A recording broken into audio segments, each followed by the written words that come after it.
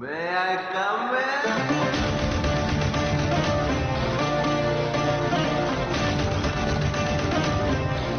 ನೀವು ನಮ್ಮ ಚಾನಲ್ನಲ್ಲಿ ಫಸ್ಟ್ ಟೈಮ್ ವಿಡಿಯೋ ನೋಡ್ತಾ ಇದ್ರೆ ವಿಡಿಯೋ ಕೆಳಗಿರುವ ಸಬ್ಸ್ಕ್ರೈಬ್ ಬಟನ್ ಅನ್ನು ಕ್ಲಿಕ್ ಮಾಡಿ, ಹಾಗೆ ಪಕ್ಕದಲ್ಲಿರುವ ಬೆಲ್ ಐಕಾನ್ ಅನ್ನು ಪ್ರೆಸ್ ಮಾಡಿ ಆಗ ಮಾತ್ರ ನಾವು ಮುಂದೆ ಅಪ್ಲೋಡ್ ಮಾಡುವ ವಿಡಿಯೋ ನೋಟಿಫಿಕೇಶನ್ ನಿಮ್ಮ ಮೊಬೈಲ್ ಹಾಗೂ ಡೆಸ್ಕ್ಟಾಪ್ಗೆ ಬರುತ್ತೆ ಹಾಯ್ ಫ್ರೆಂಡ್ಸ್ ಈ ವಿಡಿಯೋದಲ್ಲಿ ಯಾವ್ದ್ರ ಬಗ್ಗೆ ನೋಡ್ತೀವಿ ಅಂದ್ರೆ ಆಲ್ ಡೇ ಎಫಿಷಿಯನ್ಸಿ ಬಗ್ಗೆ ನೋಡ್ತೀವಿ. ಸೊ ಈ ವಿಡಿಯೋವನ್ನು ಸ್ಕಿಪ್ ಮಾಡದೆ ಕಂಟಿನ್ಯೂಸ್ ನೋಡಿ, ಆಗ ಮಾತ್ರ ಅರ್ಥ ಆಗೋದು. ಆಲ್ರೆಡಿ ನಮ್ಮ ಚಾನೆಲ್ನಲ್ಲಿ ಎಫಿಷಿಯನ್ಸಿ ಆಫ್ ದ ಟ್ರಾನ್ಸ್ಫಾರ್ಮರ್ನ ಬಗ್ಗೆ ವಿಡಿಯೋ ಅಪ್ಲೋಡ್ ಮಾಡಿದ್ವಿ. ಸೊ ಆ ವಿಡಿಯೋ ನೋಡಿಲ್ಲ ಅಂದ್ರೆ ಮೇಲ್ಗಡೆ ಐಕಾನ್ನಲ್ಲಿ ಹಾಗೂ ಕೆಳಗಡೆ ಡಿಸ್ಕ್ರಿಪ್ಷನ್ ಲಿಂಕ್ ಕೊಟ್ಟಿದ್ದೀನಿ.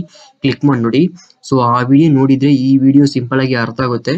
ಸೊ ಈ ಎಫಿಷಿಯನ್ಸಿ ಬಂದು ಒಂದು ಇಂಪಾರ್ಟೆಂಟ್ ಆದ ಟಾಪಿಕ್ ಸೊ ಇದು ಎಲ್ಲಿ ಬರುತ್ತೆ ಅಂದ್ರೆ transformer induction motor synchronous motor ಯಾವ್ದಾದ್ರು ಎಲೆಕ್ಟ್ರಿಕಲ್ ಸಪ್ಲೈ ಕೊಡುವಂತಹ ಮಿಷಿನ್ನಲ್ಲಿ ಈ ಎಫಿಷಿಯನ್ಸಿ ಬರುತ್ತೆ. ಸೊ ಎಫಿಷಿಯನ್ಸಿ ಅಂದ್ರೆ ಒಂದು ಎಲೆಕ್ಟ್ರಿಕಲ್ ಮಿಷಿನ್ಸ್ಗೆ ಎಲೆಕ್ಟ್ರಿಕಲ್ ಸಪ್ಲೈನ ಕೊಟ್ರೆ ಅಥವಾ ಇನ್ಪುಟ್ ಆಗಿ ಕೊಟ್ರೆ, ಹಾಗಾದ್ರೆ ಇನ್ಪುಟ್ ಆಗಿ ಕೊಟ್ರೆ ಅದರ ಔಟ್ಪುಟ್ ಸೈಡ್ನಲ್ಲಿ ಲಾಸಸ್ನ ಬಿಟ್ಟು ಯಾವ ರೀತಿ ಔಟ್ಪುಟ್ ಪರ್ಫಾರ್ಮೆನ್ಸ್ ಇದೆ ಅದನ್ನೇ ಎಫಿಷಿಯನ್ಸಿ ಅಂತೀವಿ. ಎಫಿಷಿಯನ್ಸಿನ ಫೈಂಡ್ ಔಟ್ ಮಾಡಲು formula the ratio of output power divided by input power into hundred ಅಂತ. ಈಗ ಆಲ್ ಡೇ ಎಫಿಷಿಯನ್ಸಿ ಬಗ್ಗೆ ನೋಡೋಣ. ಸೊ ಈ all day efficiency only distribution transformer ಮಾತ್ರ ಬರೋದು. ಸೊ ಈ ಆಲ್ ಡೇ ಎಫಿಷಿಯನ್ಸಿ ಬಗ್ಗೆ ನೋಡೋಕ್ಕಿಂತ ಮುಂಚೆ ಬೇಸಿಕ್ ಆಗಿ ಒಂದು ವಿಷಯ ಹೇಳ್ತೀನಿ. ಸೊ ಪವರ್ ಟ್ರಾನ್ಸ್ಫಾರ್ಮರ್ ಮತ್ತು ಡಿಸ್ಟ್ರಿಬ್ಯೂಷನ್ ಟ್ರಾನ್ಸ್ಫಾರ್ಮರ್ ಇರುವ ಡಿಫ್ರೆನ್ಸ್ನ ಬಗ್ಗೆ ಆಲ್ರೆಡಿ ನಮ್ಮ ಚಾನೆಲ್ನಲ್ಲಿ ಒಂದು ವಿಡಿಯೋ ಅಪ್ಲೋಡ್ ಮಾಡಿದೀವಿ ಸೊ ಆ ವಿಡಿಯೋ ನೋಡಿಲ್ಲ ಅಂದ್ರೆ ಮೇಲ್ಗಡೆ ಐಕಾನ್ನಲ್ಲಿ ಹಾಗೂ ಡಿಸ್ಕ್ರಿಪ್ಷನ್ ಲಿಂಕ್ ಕೊಟ್ಟಿದ್ದೀನಿ.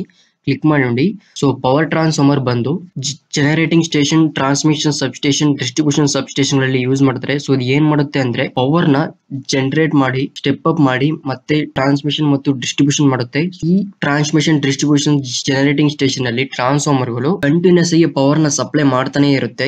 ಯಾವಾಗ್ಲೂ ಆಫ್ ಆಗಲ್ಲ. ಸೊ ಇದು ಯಾವಾಗ್ಲೂ ಫುಲ್ ಲೋಡ್ ಎಫಿಷಿಯನ್ಸಿ ಇರುತ್ತೆ. ಆದ್ರೆ ಡಿಸ್ಟ್ರಿಬ್ಯೂಷನ್ ಟ್ರಾನ್ಸ್ಫಾರ್ಮರ್ ಬಂದು ಒಂದೊಂದು ಟೈಮ್ ಅಲ್ಲಿ ಆನ್ ಆಗಿರುತ್ತೆ, ಒಂದೊಂದು ಟೈಮ್ ಅಲ್ಲಿ ಆಫ್ ಆಗಿರುತ್ತೆ. ಡಿಸ್ಟ್ರಿಬ್ಯೂಷನ್ ಟ್ರಾನ್ಸ್ಫಾರ್ಮರ್ ಅಂದ್ರೆ ನಿಮ್ಮ ಮನೆಗೆ ಬರುತ್ತಿರುವ ಪವರ್ ಯಾವ ಟ್ರಾನ್ಸ್ಫಾರ್ಮರ್ ಇಂದ ಬರುತ್ತಿದೆಯೋ ಅದೇ ಡಿಸ್ಟ್ರಿಬ್ಯೂಷನ್ ಟ್ರಾನ್ಸ್ಫಾರ್ಮರ್ ಅಥವಾ eleven KV power ಸಪ್ಲೈನ four forty volt phase to phase two thirty volt phase to neutral convert ಮಾಡಿ ಕೊಡುವಂತಹ ಟ್ರಾನ್ಸ್ಫಾರ್ಮರ್ ನೇ ಡಿಸ್ಟ್ರಿಬ್ಯೂಷನ್ ಟ್ರಾನ್ಸ್ಫಾರ್ಮರ್ ಅಂತೀವಿ. ಸೊ ಈ ಟ್ರಾನ್ಸ್ಫಾರ್ಮರ್ನಲ್ಲಿ ಮಾತ್ರ ಆಲ್ ಡೇ ಎಫಿಷಿಯನ್ಸಿ ಬರೋದು. ಸೊ ಏಕೆ ಅಂದ್ರೆ ಈ ಟ್ರಾನ್ಸ್ಫಾರ್ಮರ್ ಒಂದು ಟೈಮ್ನಲ್ಲಿ ಆನ್ ಆಗಿರುತ್ತೆ, ಇನ್ನೊಂದು ಟೈಮ್ನಲ್ಲಿ ಆನ್ ಆಗಿರಲ್ಲ. ಸೊ ಆದ್ದರಿಂದ ಈ ಆಲ್ ಡೇ ಬರುತ್ತೆ. ಸೊ ಆಲ್ ಡೇ ಎಫಿಷಿಯನ್ಸಿ ಅಂದ್ರೆ ಟ್ವೆಂಟಿ ಫೋರ್ ಅವರ್ಸ್ ಒಂದು ದಿನ. ಟ್ವೆಂಟಿ ಫೋರ್ ಅವರ್ ಅಲ್ಲಿ ಆ ಡಿಸ್ಟ್ರಿಬ್ಯೂಷನ್ ಟ್ರಾನ್ಸ್ಫಾರ್ಮರ್ಗೆ ಬರುವಂತಹ ಇನ್ಪುಟ್ ಪವರ್ ಅದರ ಔಟ್ಪುಟ್ ಪವರ್ ವಿತ್ ಲಾಸಸ್ನ ಕ್ಯಾಲ್ಕುಲೇಟ್ ಮಾಡಿದ್ರೆ ಎಫಿಷಿಯನ್ಸಿನ ಫೈಂಡ್ ಔಟ್ ಮಾಡ್ಕೋಬಹುದು ಸೊ ಆದ್ದರಿಂದ ಡಿಸ್ಟ್ರಿಬ್ಯೂಷನ್ ಟ್ರಾನ್ಸ್ಫಾರ್ಮರ್ನಲ್ಲಿ ಆಲ್ ಡೇ ಎಫಿಷಿಯನ್ಸಿ ಬರುತ್ತೆ. ಸೊ ಪವರ್ ಟ್ರಾನ್ಸ್ಫಾರ್ಮರ್ ಬಂದು ಯಾವಾಗಲೂ ಫುಲ್ ಲೋಡ್ ಎಫಿಷಿಯನ್ಸಿ ಇರುತ್ತೆ. ಆದ್ರೆ ಡಿಸ್ಟ್ರಿಬ್ಯೂಷನ್ ಟ್ರಾನ್ಸ್ಫಾರ್ಮರ್ ಬಂದು ಯಾವಾಗಲೂ ಫುಲ್ ಲೋಡ್ ಎಫಿಷಿಯನ್ಸಿ ಇಲ್ಲಿ ಇರಲ್ಲ. ಸೊ ಆದ್ದರಿಂದ ಆಲ್ ಡೇ ಎಫಿಷಿಯನ್ಸಿನ ಕ್ಯಾಲ್ಕುಲೇಟ್ ಮಾಡ್ತೀವಿ ಡಿಸ್ಟ್ರಿಬ್ಯೂಷನ್ ಟ್ರಾನ್ಸ್ಫಾರ್ಮರ್ನಲ್ಲಿ ಮಾತ್ರ. ಹಾಗೂ ಪವರ್ ಟ್ರಾನ್ಸ್ಫಾರ್ಮರ್ ಯಾವಾಗ್ಲೂ ಪವರ್ನ ಡಿಸ್ಟ್ರಿಬ್ಯೂಷನ್ ಟ್ರಾನ್ಸ್ಫಾರ್ಮರ್ಗೆ ಟ್ರಾನ್ಸ್ಫರ್ ಮಾಡ್ತಾನೆ ಇರುತ್ತೆ ಯಾವಾಗ್ಲೂ ಆಫ್ ಆಗಲ್ಲ. ಸೊ ಆದ್ರಿಂದ ಅದು ಫುಲ್ ಲೋಡ್ ಎಫಿಷಿಯನ್ಸಿ ಇರುತ್ತೆ.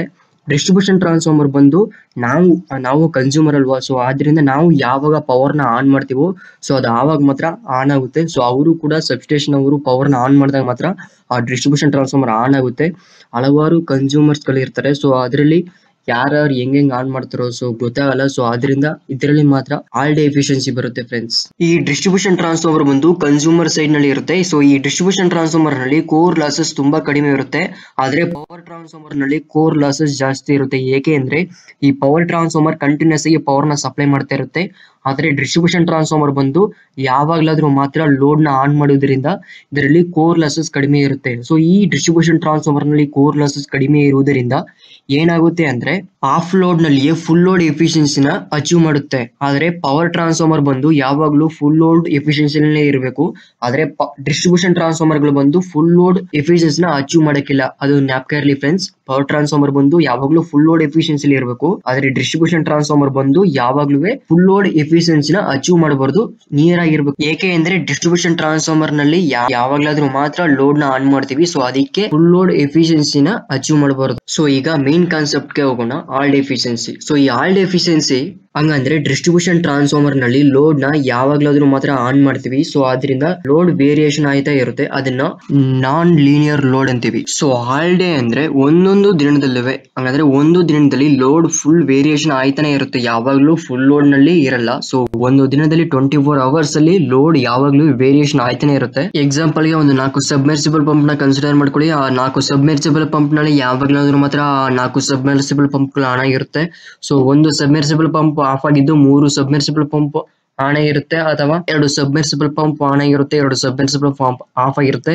ಸೊ ಇದರಿಂದ ಲೋಡ್ ವೇರಿಯೇಷನ್ ಆಯ್ತಾನೆ ಇರುತ್ತೆ.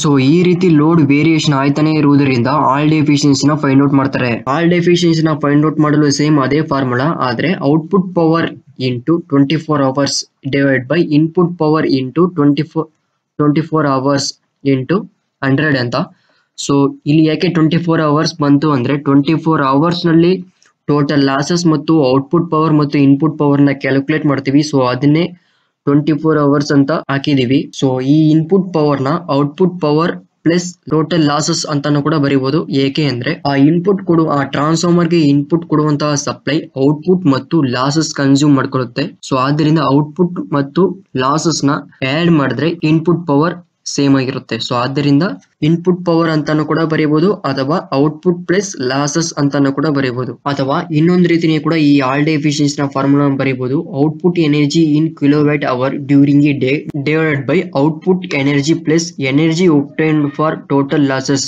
ಅಂತಾನು ಕೂಡ ಬರೀಬಹುದು into hundred output energy plus energy obtained for total losses during a day into hundred ಅಂತಾನು ಕೂಡ ಬರೀಬಹುದು ಸೊ ಈ ಆಲ್ ಡೇ ಫಿಶ್ನ ಟ್ವೆಂಟಿ ಫೋರ್ ಅವರ್ಸ್ನಲ್ಲಿ ಡಿಸ್ಟ್ರಿಬ್ಯೂಷನ್ ಟ್ರಾನ್ಸ್ಫಾರ್ಮರ್ಗೆ ಕೊಡುವಂತಹ ಇನ್ಪುಟ್ ಪವರ್ ಸಪ್ಲೈ ಮತ್ತು ಔಟ್ಪುಟ್ ಮತ್ತು ಲಾಸಸ್ನ ಕ್ಯಾಲ್ಕುಲೇಟ್ ಮಾಡಿದ್ರೆ ಆಲ್ ಡೇ ನ ಫೈಂಡ್ ಔಟ್ ಮಾಡ್ಕೋಬಹುದು